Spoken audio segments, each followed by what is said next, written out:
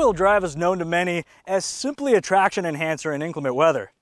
But Acura was one of the first automakers to realize its potential as not just a traction booster and nothing more, but as a means of drastically improving performance in nearly every respect, both on and off-road.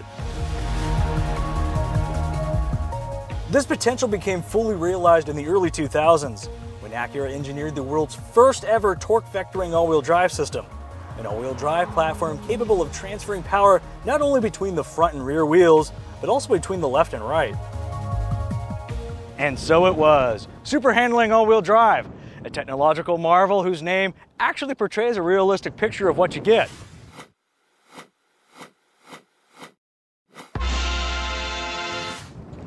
Things like this.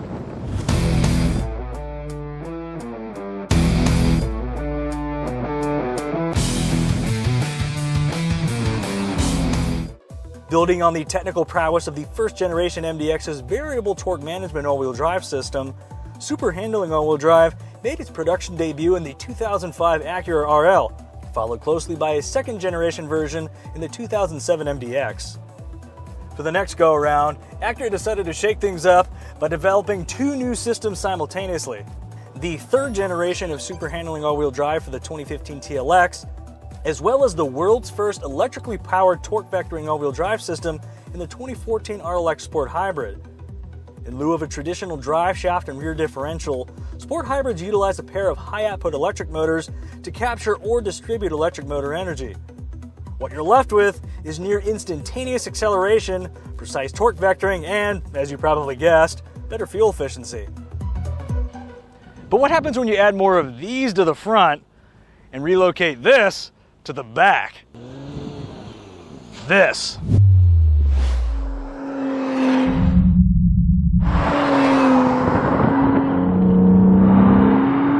From acceleration to braking and cornering, Sport Hybrid SH all-wheel drive in the NSX influences every stage of driving. It's what happens when you take super handling all-wheel drive and dial it up to 11. For example, here's what happens in a typical corner. As I approach the corner at speed, I clamp down hard on the NSX's electro servo brakes, both slowing me down and recovering energy. When I lift off the brakes and turn in, the twin motor unit and agile handling assist work together, supporting my steering input right to the apex. With direct yaw control and Velcro-like traction of SHAWD on my side, I can transition back to the throttle before the apex, maximizing my speed at the exit. Basically, I'm able to get on the power earlier and harder. Oh, and that vice-like grip on the road? makes for some awesome slip-free launches.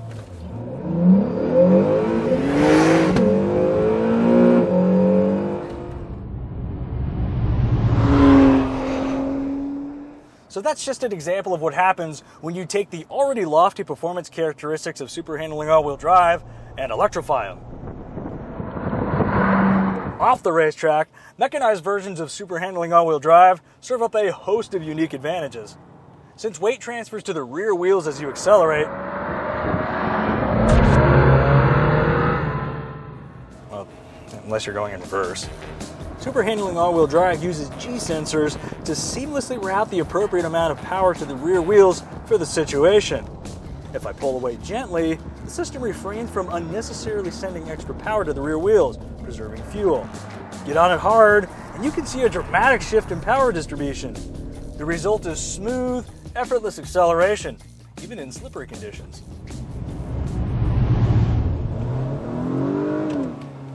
Much is the same story in corners, where super handling all-wheel drive smartly anticipates additional traction demands by progressively distributing up to 70% of torque to the rear wheels, as well as up to 100% of that torque to either the right or left wheel.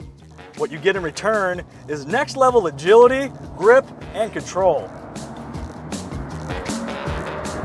Best of all, unlike conventional all-wheel drive systems that can only respond reactively to wheel slippage, super handling all-wheel drive can proactively redistribute power before a loss of traction occurs in the first place.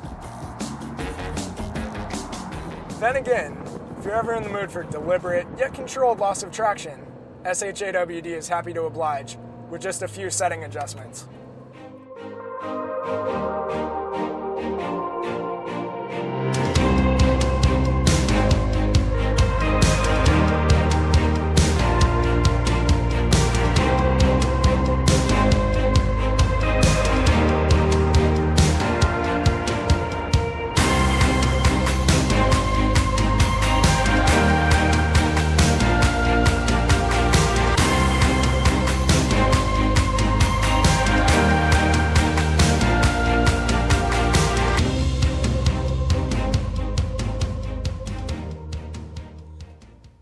As you can see, super handling all-wheel drive is so much more than just all-wheel drive.